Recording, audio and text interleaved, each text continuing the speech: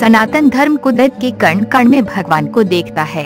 इसी आस्था से कई देवी देवताओं की भी पूजा की जाती है। इसलिए हर देवालय मन विचार व व्यवहार को पवित्र व साधने वाली ऊर्जा देने वाले शक्ति स्थल भी माने जाते हैं। हर देवी देवता विशेष शक्ति साधना के लिए पूज्य है। देव उपासना से कार्य विशेष को साधने के लिए बुद्धि और विवेक मिलने की आस्था ही भक्त को देवालय तक खींच लाती है। क्योंकि देव शक्ति से जुड़ी यही श्रद्धा और आस्था सब कुछ संभव करने वाली मानी गई है। इसलिए यह भी ज़रूरी है कि देवालय में पहुँच देव दर्शन की मर्यादाओं का पालन हो। यहाँ बताई जा रही मंदिर में देवी देवताओं के दर्शन के तरीके न केवल खुद के साथ दूसरों की भी देव आस्था खंडित होने से बचाएँगे, बल्कि औरों को भी धर्म आचरण के लिए प्रेरित करेंगे। मंदिर में प्रवेश करते वक्त बहुत ही धीमी आवाज़ में घंटा बजाएँ ताकि ज़्यादा आवाज़ से दूसरों का भी देव ध्यान भंग न हो। मंदिर के अंदर देव प्रतिमा के सामने जो भी देव विशेष का वाहन हो, जैसे देवी का सिंह शिव जी का नंदी, गणेश जी का चूहा आदि के बगल में खड़े होकर दोनों हाथों को जोड़ दर्शन करें।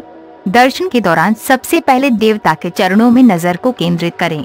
फिर भगवान के वक्ष स्थल या छाती पर मन को टिकाए और आखिर में देव प्रतिमा के नेत्र पर दृष्टि साध उनके पूरे स्वरूप को आँखों वो हृदय में उतारे।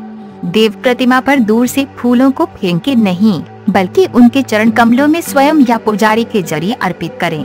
ऐसा भी संभव न हो तो फिर थाली में पूजा सामग्री रख सकते हैं। अक्सर परिजनों को कई मौकों पर घर के बड़े बुज़ुर्गों से परिवार के अशांत माहौल या व्यक्तिगत जीवन को सुकून भरा बनाने के लिए मन या घर को मंदिर बनाने की नसीहत मिलती है। क्या कभी आपने भी इन बातों पर गौर किया है कि आखिर घर या मन को मंदिर से जोड़ने के पीछे असल भावना क्या होती है? दरअसल, इसमें मंदिर से जुड़ी उस खास खूबी की ओर संकेत भी होता है जो मानसिक तौर पर सुखी रहने के लिए बेहद ज़रूरी है। मन व घर के लिए अहम यह बात है, शांति।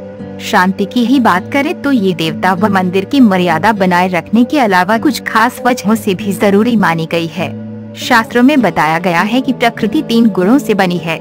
ये तीन गुण हैं, सत्य, सात्विक गुण, रज या रजोगुणी व तम या तमोगुणी। देवता सत्व गुणों के प्रतीक है। इसलिए माना जाता है कि मंदिर की देव मूर्तियों से भी सात्विक ऊर्जा निकल चारों ओर फैलती है। किंतु पूजा, कीर्तन या आरती को छोड़ दूसरी तरह की अनावश्यक बातों या अपशब्दों से निकलने वाली रजोगुणी व तमोगुणी ऊर्जा इसमें रुकावट बनती है।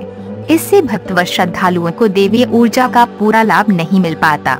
मन की शांति के लिए ज़रूरी है एकाग्रता, जो मंदिर में शांति बनाए रखने से ही मुमकिन है। शोरगुल से पैदा किसी भी रूप में कलह देवालय की पवित्रता वो अचयता भी कम करता है।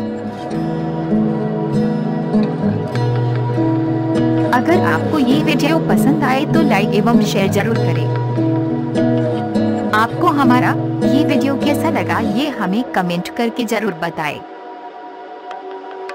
यदि आपने अब तक हमारी चैनल को सब्सक्राइब नहीं किया है तो और भी नए और दिलचस्प वीडियोस देखने के लिए जल्द ही सब्सक्राइब करें